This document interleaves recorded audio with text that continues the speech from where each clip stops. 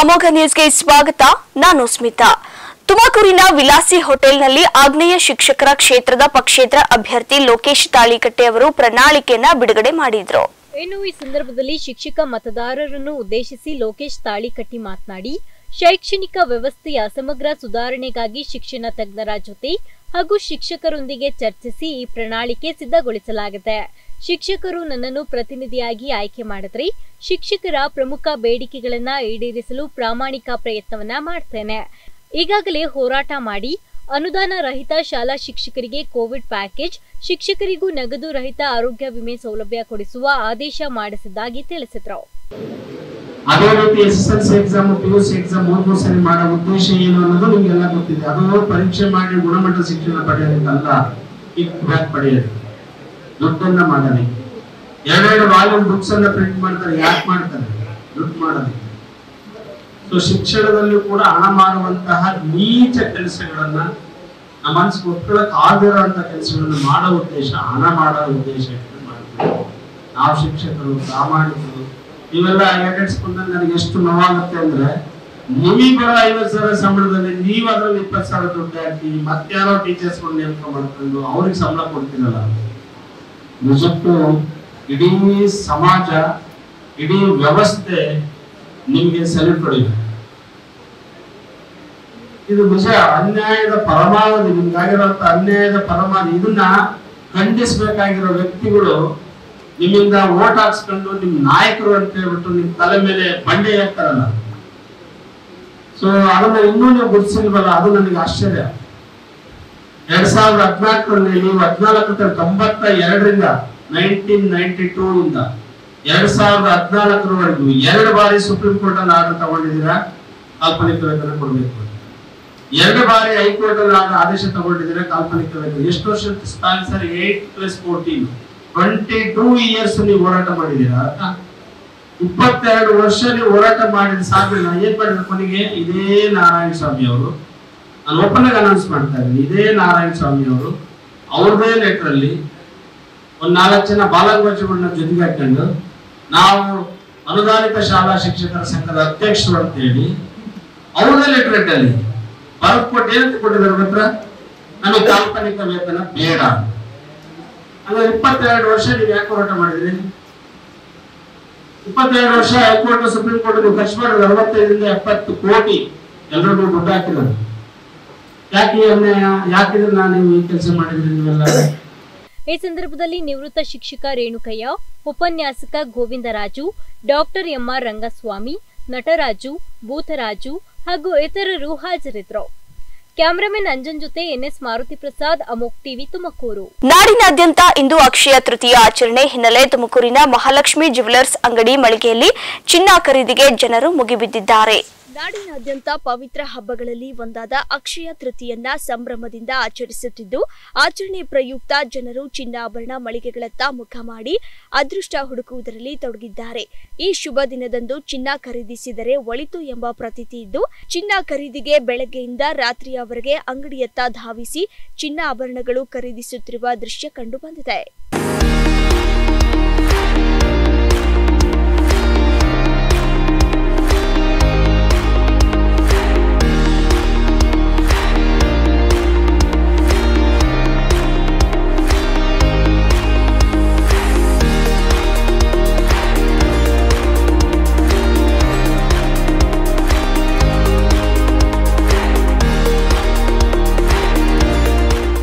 ಹರಿ ಎಲ್ಲರಿಗೂ ನಮಸ್ಕಾರ. ನಾನು Kishore, Shri Mahalakshmi jewellers S S Puram ಮುಖ್ಯ ರಸ್ತೆ ತುಮಕೂರು.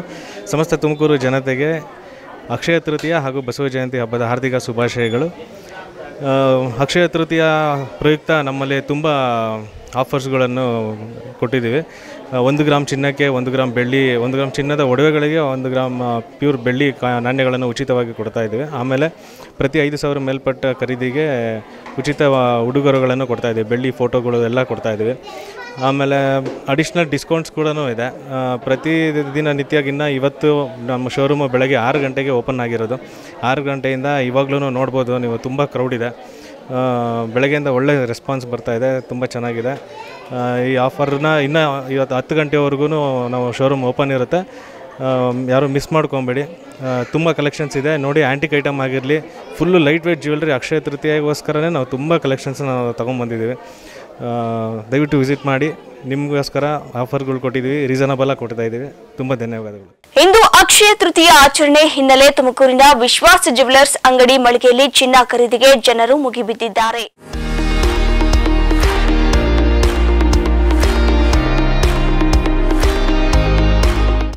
ಹೌದು. ಈ ದಿನ ಚಿನ್ನ ಬೆಳ್ಳಿಯಂತಹ ವಸ್ತುಗಳನ್ನು ಖರೀದಿಸುವುದು ವಾಡಿಕೆ. ಈ ಶುಭ ದಿನದಂದು ಸಂಪತ್ತಿನ ದೇವರು ಎಂದು ಕರೆಯಲ್ಪಡುವ ಭಗವಾನ್ ಕುಬೇರನು ನಿಧಿಯನ್ನು ಪಡೆದನು ಎಂಬ ಇತಿಹಾಸವಿದ್ದು ಅದಕ್ಕಾಗಿಯೇ ಅಕ್ಷಯ ತೃತೀಯ ದಿನದಂದು ಚಿನ್ನವನ್ನ ಖರೀದಿಸಬೇಕು ಎಂಬ ನಂಬಿಕೆ. ಹಾಗಾಗಿ ಪ್ರತಿ ವರ್ಷದಂತೆ ಈ ವರ್ಷವೂ ತುಮಕೂರಿನ ಹೆಸರಾಂತ ಚಿನ್ನಾಭರಣ ಮಳಿಗೆಗಳಲ್ಲಿ ಒಂದಾದ ವಿಶ್ವಾಸ್ ಜ್ಯುವೆಲರ್ಸ್ನಲ್ಲಿ ಅಕ್ಷಯ ತೃತೀಯ ಆಚರಣೆಯ ಪ್ರಯುಕ್ತ ಬಗೆ ಬಗೆಯ ವಿನ್ಯಾಸದ ಆಕರ್ಷಕ ಆಭರಣಗಳ ಸಂಗ್ರಹದೊಂದಿಗೆ ಗ್ರಾಹಕರ ಮನ ಸೆಳೆದಿತು. ಮುಂಜಾನೆಯಿಂದಲೂ ಜನರು ಚಿನ್ನದ ಮಳಿಗೆ ಕಡೆ ಮುಖ ಮಾಡಿದ್ದಾರೆ. ನಮಸ್ತೆ, ನಾನು ನಿಮ್ಮ ವಿಶ್ವಾಸ್ ವಿಶ್ವಾಸ್ ಜ್ಯುವೆಲರ್ಸ್ ತುಮಕೂರು. ಇವತ್ತು ಅಕ್ಷಯ ತೃತೀಯದಿಂದ ತುಂಬಾ ಜನ ಬಂದಿದ್ದಾರೆ. ನನ್ನ ಮೇಲೆ ವಿಶ್ವಾಸ ತೋರು ಬರ್ತಾ ಇದ್ದಾರೆ. ಅವ್ರಿಗೆಲ್ಲ ಕಮ್ಮಿ ರೇಟ್ಗೆ ಒಳ್ಳೆ ಒಳ್ಳೆ ಚಿನ್ನ ಕೊಡ್ತಾ ಇದ್ದೀನಿ. ಮೇನಾಗಿ ಸ್ಪೆಷಲಾಗಿ ಲೈಟ್ ವೇಟ್ ಡಿಸೈನ್ಸ್ ಬಂದಿದ್ದಾವೆ ಎಲ್ಲರೂ, ಎಲ್ಲ ತೂಕದ್ದು ಐಟಮ್ಸ್ ತೊಗೊಂಡೋಗ್ತಾರೆ. ಒಂದು ಗ್ರಾಮಿಂದ ಹಿಡಿದು ನೂರು ಗ್ರಾಮಿನ ತಕ್ಕ ತೊಗೊಂಡೋಗ್ತಾವ್ರೆ ಸೊ ಇವತ್ತು ಆಲ್ಮೋಸ್ಟ್ ಒನ್ ಇಷ್ಟು ಟೆನ್ ಕಸ್ಟಮರ್ಸ್ ಆಗವ್ರೆ. ಡೈಲಿ ಐವತ್ತು ಜನ ಬಂದರೆ ಇವತ್ತು ಐನೂರು ಜನ ಬರ್ತಾವ್ರೆ. ಬೆಳಗ್ಗೆಯಿಂದ ನಾನ್ ಸ್ಟಾಪ್ ಬರ್ತಾ ಇದ್ದಾರೆ ನಮ್ಮದು ಮೇಲೆ, ಕೆಳಗೆ, ಮೂರು ಕಡೆ ಮಳಿಗೆ ಇದೆ. ಇದಲ್ದಲ್ಲಿ ಇನ್ನೂ ಮೂರು ಬ್ರಾಂಚಸ್ ಇದೆ. ಸೊ ಎಲ್ಲ ಕಡೆನೂ ಹೀಗೆ ತುಂಬಿ ಇದು ಮಾಡ್ತಾ ಇದ್ದೀರಾ ಎಲ್ಲ ನಿಮ್ಮ ಆಶೀರ್ವಾದ. ತುಂಬ ಆರ್ಥಿಕ ಶುಭಾಶಯಗಳು. ಅಕ್ಷಯ ತೃತೀಯದು ಥ್ಯಾಂಕ್ ಯು ನಿನ್ನೆ ರಾಜ್ಯಾದ್ಯಂತ ಎಸ್ಎಸ್ಎಲ್ಸಿ ಫಲಿತಾಂಶ ಪ್ರಕಟಣೆ ಹಿನ್ನೆಲೆ ಬೆಳಗಾವಿ ಜಿಲ್ಲೆಯ ಎಕ್ಸಂಬಾ ಗ್ರಾಮದಲ್ಲಿ ಪರೀಕ್ಷೆಯಲ್ಲಿ ಅನುತ್ತೀರ್ಣಳಾಗಿದ್ದಕ್ಕೆ ಸೃಷ್ಟಿ ಕಲ್ಲಪ್ಪ ಚೌಹಾಣ್ ಎಂಬ ವಿದ್ಯಾರ್ಥಿನಿ ವಿಷ ಸೇವಿಸಿ ಆತ್ಮಹತ್ಯೆಗೆ ಯತ್ನಿಸಿದ್ದಾಳೆ. ಬೆಳಗಾವಿ ಜಿಲ್ಲೆ ಎಕ್ಸಂಬಾ ಗ್ರಾಮದಲ್ಲಿ ಪರೀಕ್ಷೆಯಲ್ಲಿ ಅನುತ್ತೀರ್ಣಳಾಗಿದ್ದಕ್ಕೆ ಸೃಷ್ಟಿ ಕಲ್ಲಪ್ಪ ಚೌಹಾಣ್ ವಿಷ ಸೇವಿಸಿ ಆತ್ಮಹತ್ಯೆಗೆ ಯತ್ನಿಸಿದ್ದಾಳೆ. ವಿಷ ಸೇವಿಸುತ್ತಿದ್ದಂತೆ ಪೋಷಕರು ಖಾಸಗಿ ಆಸ್ಪತ್ರೆಗೆ ದಾಖಲಿಸಿ ಚಿಕಿತ್ಸೆ ಕೊಡಿಸಿದ್ದಾರೆ. ಸದಲಗ ಪೊಲೀಸ್ ಠಾಣಾ ವ್ಯಾಪ್ತಿಯಲ್ಲಿ ಪ್ರಕರಣ ದಾಖಲಾಗಿದೆ. ರಾಯಚೂರು ಜಿಲ್ಲೆಯ ಸಿಂಧನೂರು ಸಮಾಜ ಕಲ್ಯಾಣ ಇಲಾಖೆಯ ಡಾಕ್ಟರ್ ಬಿಆರ್ ಅಂಬೇಡ್ಕರ್ ಮೆಟ್ರಿಕ್ ನಂತರದ ಪದವಿ ಎರಡರಲ್ಲಿ ದಾಖಲೆಯಲ್ಲಿ ಮಕ್ಕಳಿಲ್ಲದಿದ್ದರೂ ಮಕ್ಕಳ ಸಂಖ್ಯೆ ದಾಖಲಿಸಿ ಲಕ್ಷಾಂತರ ರೂಪಾಯಿ ಲೂಟಿ ಮಾಡಿದ್ದಾರೆ ಎಂದು ಹೋರಾಟಗಾರ ಸುಧಾಕರ್ ಆರೋಲಿ ಆಕ್ರೋಶ ವ್ಯಕ್ತಪಡಿಸಿದ್ದಾರೆ. ಸಮಾಜ ಕಲ್ಯಾಣ ಇಲಾಖೆ ಮಕ್ಕಳ ಬಾಳಿಗೆ ಬೆಳಕಾಗಬೇಕು. ಆದರೆ ರಾಯಚೂರು ಜಿಲ್ಲೆಯ ಸಮಾಜ ಕಲ್ಯಾಣ ಇಲಾಖೆ ಹೆಚ್ಚುವರಿ ಭೋಜನ, ವೆಚ್ಚ ಸಾಮಗ್ರಿ ನೆಪದಲ್ಲಿ ಲಕ್ಷಾಂತರ ಹಣ ಲೂಟಿ ಮಾಡುತ್ತಿರುವುದು ಬೆಳಕಿಗೆ ಬಂದಿದೆ. ಬಯೋಮೆಟ್ರಿಕ್ ಹಾಜರಾತಿ ಇಲ್ಲದೆ ಪೇಪರ್ ದಾಖಲಾತಿ ಪ್ರಕಾರ ರಾಯಚೂರು ಜಿಲ್ಲೆಯಲ್ಲಿ ಮಕ್ಕಳ ಸಂಖ್ಯೆಗಳನ್ನ ದಾಖಲು ಮಾಡಲಾಗುತ್ತಿದ್ದು, ವಿದ್ಯಾರ್ಥಿಗಳು ಇದ್ದಾರೆ ಎಂದು ಸರ್ಕಾರಕ್ಕೆ ಸುಳ್ಳು ಮಾಹಿತಿ ನೀಡಿ ಮಕ್ಕಳ ಹೆಸರಲ್ಲಿ ಲೂಟಿ ಮಾಡಿದ್ದಾರೆ. ಹೀಗೆಂದು ಹೋರಾಟಗಾರ ಸುಧಾಕರ್ ಆರೋಲಿ ಆರೋಪಿಸಿದ್ದಾರೆ. ತುಮಕೂರು ಜಿಲ್ಲೆ ಪಾವಗಡ ತಾಲೂಕಿನ ಮಂಗಳವಾಡ ಗ್ರಾಮದ ತಿರುಮಲ ರಾಘವೇಂದ್ರ ಪ್ರೌಢಶಾಲೆಯಲ್ಲಿ ಹಲವು ಮಕ್ಕಳು ಅನುತ್ತೀರ್ಣಗೊಂಡಿದ್ದು, ಶಾಲಾ ಆಡಳಿತ ಮಂಡಳಿಯ ಬೇಜವಾಬ್ದಾರಿಯಿಂದ ವರ್ತಿಸಿದೆ ಅಂತ ಪೋಷಕರು ಶಾಲೆಯ ಮುಂದೆ ಪ್ರತಿಭಟನೆ ನಡೆಸಿದ್ದಾರೆ. ಸರ್ಕಾರಿ ಅನುದಾನಿತ ಪ್ರೌಢಶಾಲೆಯಾದ ತಿರುಮಲ ರಾಘವೇಂದ್ರ ಪ್ರೌಢಶಾಲೆಯಲ್ಲಿ ಒಟ್ಟು ಐವತ್ತಾರು ವಿದ್ಯಾರ್ಥಿಗಳು ಪರೀಕ್ಷೆ ಬರೆದಿದ್ರು. ಇದರ ಪೈಕಿ ಹದಿನೇಳು ವಿದ್ಯಾರ್ಥಿಗಳು ಅನುತ್ತೀರ್ಣರಾಗಿದ್ದಾರೆ. ಕಳೆದ ಒಂದು ವರ್ಷದಿಂದ ನಾಲ್ವರು ಶಿಕ್ಷಕರಿಲ್ಲದ ಪರಿಣಾಮ ಮಕ್ಕಳು ಅನುತ್ತೀರ್ಣರಾಗಿದ್ದಾರೆ. ಮಕ್ಕಳು ಅನುತ್ತೀರ್ಣರಾಗಲು ಶಾಲಾ ಆಡಳಿತ ಮಂಡಳಿ ಕಾರಣ ಅಂತ ಆರೋಪಿಸಿ ಶಾಲೆ ಎದುರು ಪೋಷಕರು ಪ್ರತಿಭಟನೆ ನಡೆಸಿದ್ದಾರೆ.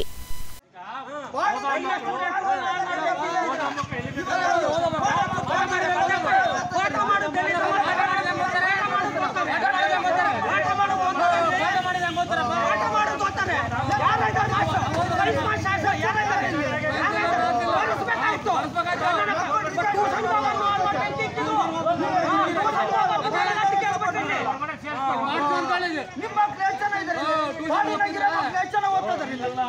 ಎಲ್ಲರೂ ಕಾನ್ವೆಂಟ್.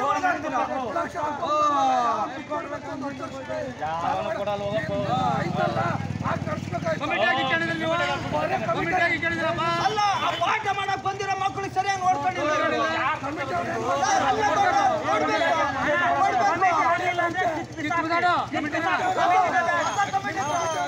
ಗೌರಿಬಿದನೂರು ನಗರದ ಹಿರೇಬಿದನೂರು ಗ್ರಾಮದಲ್ಲಿ ಶತಮಾನದ ಸಾಮಾಜಿಕ ಕ್ರಾಂತಿಕಾರ ಜಗಜ್ಯೋತಿ ಬಸವೇಶ್ವರರ ಜಯಂತಿಯನ್ನ ಅದ್ದೂರಿಯಾಗಿ ಆಚರಿಸಿದ್ದಾರೆ. ವೀರಶೈವ ಸಮಿತಿ ಮುಖಂಡ ನಂಜುಂಡಪ್ಪ ಮಾತನಾಡಿ, ಹನ್ನೆರಡನೇ ಶತಮಾನದಲ್ಲಿ ಕಾಯಕವೇ ಕೈಲಾಸ ಎಂದು ಪ್ರತಿಪಾದಿಸಿ, ಅದನ್ನ ಕಾರ್ಯರೂಪಕ್ಕೆ ತರುವಲ್ಲಿ ದುಡಿದ ಮಹಾನ್ ಸಂತ, ಕ್ರಾಂತಿಕಾರ ವ್ಯಕ್ತಿ ಬಸವಣ್ಣ. ಜಾತಿ ವ್ಯವಸ್ಥೆ ಹೋಗಲಾಡಿಸಲು ಶ್ರಮಿಸಿದ್ರು. ಮೂಢನಂಬಿಕೆ ಆಚರಣೆ ತೀವ್ರವಾಗಿ ಇತ್ತು. ಇದರ ಕಡಿವಾಣಕ್ಕೆ ಅನುಭವ ಮಂಟಪ ಕಟ್ಟಿ ಅನೇಕ ಶರಣರನ್ನ ಒಗ್ಗೂಡಿಸಿಕೊಂಡು ಜಾತಿ ವ್ಯವಸ್ಥೆಗೆ ನಾಂದಿ ಹಾಡಿದ್ರು. ಇವರ ಹಾದಿಯಲ್ಲಿ ನಾವು ನಡೆಯುತ್ತಿದ್ದೇವೆ. ಹಾಗೆ ತುಮಕೂರಿನ ಶ್ರೀ ಶ್ರೀ ಶಿವಕುಮಾರ ಸ್ವಾಮೀಜಿಗಳ ಆಶೀರ್ವಾದಗಳೊಂದಿಗೆ ಇಂದು ನಾವು ಬಸವ ಜಯಂತಿ ಆಚರಣೆ ಮಾಡುತ್ತಿದ್ದೇವೆ. ಬಸವಣ್ಣನವರ ಕಾಯಕ ಶ್ರೀಗಳ ಅನ್ನದಾಸೋಹಗಳನ್ನ ನಾವು ಪಾಲಿಸುತ್ತಿದ್ದೇವೆ. ಪ್ರತಿ ವರ್ಷ ನೂರಾರು ಮಕ್ಕಳಿಗೆ ಅನ್ನದಾಸೋಹ ಮಾಡುತ್ತಿದ್ದೇವೆ ಎಂದರು.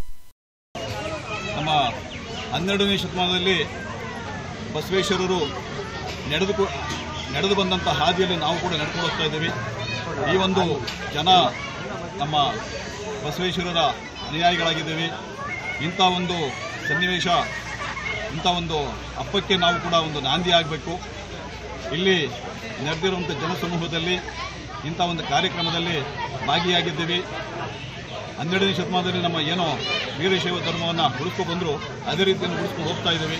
ಇನ್ನು ಉಳಿಬೇಕು ಅವರ ತತ್ವ ಆದರ್ಶದ ಮೇಲೆ ನಾವು ನಡೀತಾ ಇದ್ದಾರೆ ಅದು ಕೂಡ ನಡ್ಕೊಂಡು ಇದೆ. ಸರ್ವ ಸರ್ವರಿಗೂ ಸಮಪಾಳು, ಸರ್ವರಿಗೂ ಸಮಪಾಲು ಅಂತ ನಮ್ಮ ಬಸವಣ್ಣನ ಹೇಳಿದ್ದಾರೆ. ಅದೇ ರೀತಿ ಕಾಯಕವೇ ಕೈಲಾಸ ಅಂತ, ಕಾಯಕವೇ ಕೈಲಾಸ ಅಂತ ಹೇಳಿ ಮಾಡಿದ್ದಾರೆ. ಹಾಗೆ ನಮ್ಮ ಮಹಾ ಶಿವಕುಮಾರ ಸ್ವಾಮಿ ಕೂಡ ವಿಶ್ವದಲ್ಲೇ ಅನ್ನದಾಸೋಹ, ತ್ರಿದಾಸೋಹ ಅಂತೇಳಿ ಅನ್ನದಾಸೋಹ ವಿದ್ಯೆ ವಿದ್ಯೆಯನ್ನು ಕೊಟ್ಟಂತಹ ಬಟ್ಟೆಯಿಂದ ಕೊಟ್ಟಂತಹ ತ್ರಿವಿಧ ದಾಸೋಹಿ ಶಿವಕುಮಾರ ಸ್ವಾಮಿಗಳು ಕೂಡ ಈ ಒಂದು ಅನುಯಾಯಿಗಳು, ನಮ್ಮ ಬಸವೇಶ್ವರ ಅನುಯಾಯಿಗಳಾಗಿ ಈ ಒಂದು ಇಡೀ ಕರ್ನಾಟಕದಲ್ಲಿ, ಇಡೀ ದೇಶದಲ್ಲಿ ಪ್ರಖ್ಯಾತವಾಗಿ ನಮ್ಮ ದೇಶದಲ್ಲಿ ಇದಂಥ ಪುಣ್ಯ ಪುಣ್ಯಾತ್ಮಂತರು ನಮ್ಮ ಶಿವಕುಮಾರ ಸ್ವಾಮಿಗಳು ಇಂಥ ಒಂದು ಸಂದರ್ಭದಲ್ಲಿ ಅವ್ರು ನೆನೆಸ್ಕೊಳ್ಳೋದೇ ನಮಗೆ ತುಂಬ ಅದೃಷ್ಟ. ಅವ್ರು ನೋಡಿ ನಾವು ಅವ್ರು ನೋಡಿರೋಂಥವ್ರು ನಾವು ಭಾಗ್ಯವಂತರು. ಹಾಗಾಗಿ ಇಂಥ ಒಂದು ಸಂದರ್ಭದಲ್ಲಿ ಅವರ ಒಂದು ಭಾವನ, ಭಾವಚಿತ್ರಕ್ಕೆ ಪುಷ್ಪನವನ್ನು ಹಾಕಿ ಪೂಜೆ ಸಲ್ಲಿಸಿ ಅವರಿಗೆ ನೂರ ಒಂದು ನಮಸ್ಕಾರಗಳನ್ನು ಹಾಸುವಾಗ ಇದೇ ಸಂದರ್ಭದಲ್ಲಿ ಮುಖಂಡರಾದ ದೇವಿ ಮಂಜುನಾಥ್, ಬಸವರಾಜ್, ಅನಂತರಾಜು, ಪ್ರಭು ಇತರರು ಉಪಸ್ಥಿತರಿದ್ದರು. ಆರ್ ಮಂಜುನಾಥ್, ಅಮೋಕ್ ಟಿವಿ ಗೌರಿಬಿದನೂರು ಬೆಳಗಾವಿ ನಗರದ ಚೆನ್ನಮ್ಮ ವೃತ್ತದಲ್ಲಿ CM Siddaramaiah, DCM D K Shivakumar, ರಾಜ್ಯ ಕಾಂಗ್ರೆಸ್ ಉಸ್ತುವಾರಿ ರಣದೀಪ್ ಸಿಂಗ್ ಸುರ್ಜೇವಾಲಾ ಅವರ ಭಾವಚಿತ್ರಕ್ಕೆ ಚಪ್ಪಲಿಯಿಂದ ಹೊಡೆದು ಬೆಂಕಿ ಹಚ್ಚಿ ಜೆಡಿಎಸ್ ಕಾರ್ಯಕರ್ತರು ಆಕ್ರೋಶ ಹೊರಹಾಕಿದ್ದಾರೆ. ಸಂಸದ ಪ್ರಜ್ವಲ್ ರೇವಣ್ಣ ಪೆನ್ ಡ್ರೈವ್ ಪ್ರಕರಣದಲ್ಲಿ ಡಿಸಿಎಂ ಡಿಕೆ ಶಿವಕುಮಾರ್ ಹೆಸರು ಕೇಳಿ ಬಂದಿರುವ ಹಿನ್ನೆಲೆಯಲ್ಲಿ ರೊಚ್ಚಿಗೆದ್ದಿರುವ ದಳಪತಿಗಳು ಡಿಕೆಶಿ ವಿರುದ್ಧ ಸಮರ ಸಾರಿದ್ದಾರೆ. ಪ್ರತಿಭಟನೆ ನಡೆಸಿ ಸಿಡಿ ಸರ್ಕಾರ ವಜಾ ಮಾಡುವಂತೆ ಆಗ್ರಹಿಸಿದ್ದಾರೆ. ಮಾಧ್ಯಮಗಳ ಜೊತೆ ಮಾತನಾಡಿದ ಜೆಡಿಎಸ್ ಜಿಲ್ಲಾಧ್ಯಕ್ಷ ಶಂಕರ ಮಾಡಲಗಿ, ಸಿದ್ದರಾಮಯ್ಯ ಸರ್ಕಾರ, ಸಿಡಿ ಸರ್ಕಾರ, ರಾಜಕಾರಣಿಗಳು, ಅಧಿಕಾರಿಗಳ ಫೇಕ್ ಸಿಡಿ ಇಟ್ಟುಕೊಂಡು ಬ್ಲಾಕ್ಮೇಲ್ ಮಾಡುತ್ತಿದ್ದಾರೆ. ಸಚಿವ ಸಂಪುಟದಿಂದ ಸಿಡಿ ಫ್ಯಾಕ್ಟರಿ ಮಾಲೀಕ ಡಿಕೆಶಿಯನ್ನ ವಜಾ ಮಾಡಬೇಕು. ಅಲ್ಲದೆ ರಾಜ್ಯವನ್ನೇ ಈ ಸರ್ಕಾರ ಲೂಟಿ ಮಾಡುತ್ತಿದೆ. ತನಿಖೆ ನಡೆಸುತ್ತಿರುವ ಎಸ್ಐಟಿ ಸಿದ್ದರಾಮಯ್ಯ ಕೈಗೊಂಬೆ ಆಗಿದೆ. ಹಾಗಾಗಿ ರಾಷ್ಟ್ರಪತಿಗಳು ಈ ಸರ್ಕಾರ ವಜಾ ಮಾಡಬೇಕು ಮತ್ತು ಪ್ರಕರಣ ಸಿಬಿಐಗೆ ವಹಿಸುವಂತೆ ಒತ್ತಾಯಿಸಿದ್ರು. ಬ್ಲಾಕ್ ಮೇಲ್ ಮಾಡ್ತಾ ಇದ್ದಾರೆ ಅಂತ ಒಂದು ಕೇಸ್ ರಿಜಿಸ್ಟರ್ ಮಾಡಿ ಅರೆಸ್ಟ್ ಮಾಡ್ತಾ ಇರೋದು. ಇದು ದುರ್ದೈವ ಸಂಗತಿ ಈ ಇದು ರಾಜಕೀಯ ದುರುದ್ದೇಶದಿಂದ ನಡೆದಂತ ಇದು ಒಂದು ಕೆಲಸ. ಆ ಕಾರಣಕ್ಕಾಗಿ ಎಲ್ಲ ವಿಡಿಯೋ, ವಿಡಿಯೋಗಳು ವೈರಲ್ ಆಗಿದಾವೆ ಡಿ ಕೆ ಶಿವಕುಮಾರ್ ವೈರಲ್ ಆಗಿದೆ. ಎಲ್ಲ ಈ ಸರ್ಕಾರದಲ್ಲಿ ಇರ್ತಕ್ಕಂಥ ಎಲ್ಲವೂ ವೈರಲ್ ಆಗಿದಾವೆ. ಆ ಕಾರಣಕ್ಕೆ ಈ ಈ ಸರ್ಕಾರ, ಈ ರಾಷ್ಟ್ರಪತಿಗಳು ಇರ್ಬೋದು, ರಾಜ್ಯಪಾಲರು ಇರ್ಬೋದು, ಈ ಸರ್ಕಾರವನ್ನು ವಜಾ ಮಾಡ್ಬೇಕು ಮೊದಲು. ಸಿ ಡಿ ಸರ್ಕಾರ ಇದು ಸಿ ಡಿ ಸರ್ಕಾರ ವಜಾ ಮಾಡಬೇಕು. ನಮ್ಮ ಬೇಡಿಕೆ, ತಪ್ಪೇನು ಇದನ್ನು ಎಲ್ಲ ಎನ್ಕ್ವೈರಿಯನ್ನು ಸಿ ಬಿ ಐ ಕೊಡಬೇಕು. ಕೇಂದ್ರ ಸರ್ಕಾರ ವ್ಯಾಪ್ತಿಯಲ್ಲಿ ಬರ್ತಕ್ಕಂಥ ಸಿ ಬಿ ಐ ಕೊಡಬೇಕು. ಈ ಭ್ರಷ್ಟ ಸರ್ಕಾರ, ಈ ಸಿ ಡಿ ಸರ್ಕಾರ, ಇದು ಒಂದೇ ಮಾಡಲ್ಲ. ಹಿಂದೆ ನಮ್ಮ ಜಿಲ್ಲೆ ನಾಯಕರು ನಾಯಕರಾಗಿರ್ತಕ್ಕಂಥ ಸಾಹುಕಾರಿಗೂ ಸಹಿತ ಇದೇ ರೀತಿಯನ್ನ ಸಿಡಿ ಮಾಡಿದಂತ ನಾಯಕ ಮಹಾನ್ ನಾಯಕ. ಆ ನಾಯಕ ಯಾರು ಅನ್ನೋದು ಇಡೀ ಜಗತ್ ಜಾರಿಯಾಗಿದೆ ರಾಜ್ಯದಲ್ಲಿ ಒಂದು ಲಕ್ಷ ಸಿಡಿ ಇನ್ನ ಅದಾವಂತ ಅವರೇ ವಿಡಿಯೋದಲ್ಲಿ ತಮ್ಮ ಸಂಭಾಷಣೆಯಲ್ಲಿ ಫೋನ್ನಲ್ಲಿ ಮಾತಾಡಿದಾಗ ಒಂದು ಲಕ್ಷ ಸಿಡಿ ಅದಾವಂತಂದ್ರೆ ಸಿದ್ದರಾಮಯ್ಯ ಅವ್ರದ್ದು ಅದ್ರಾಗ ಸಿಡಿ ಐತಂತೆ ಸರ್ಕಾರದಾಗ ಸಿ- ಸಿದ್ದರಾಮಯ್ಯ ಅವರು ತಿಳ್ಕೋಬೇಕು. ಕೆಲವೇ ದಿನಗಳಲ್ಲಿ ಸಿದ್ದರಾಮಯ್ಯ ಅವರು ಇನ್ನು ಪ್ರತಿಭಟನೆಯಲ್ಲಿ ಮಾಜಿ ಶಾಸಕ ಕಲ್ಲಪ್ಪ ಜೆಡಿಎಸ್ ಮುಖಂಡರಾದ ನಾಜೀರ್ ಭಗವಾನ್ ಮಾರುತಿ ರುದ್ರಗೌಡ ಸೇರಿದಂತೆ ಮತ್ತಿತರರು ಪಾಲ್ಗೊಂಡಿದ್ರು ಇದಿಷ್ಟು ಪ್ರಮುಖ ಸುದ್ದಿಗಳು ನೋಡ್ತಾ ಇರಿ ಅಮೋಕ್ ಟಿವಿ ಎಂದೆಂದಿಗೂ ನಿಮ್ಮೊಂದಿಗೆ.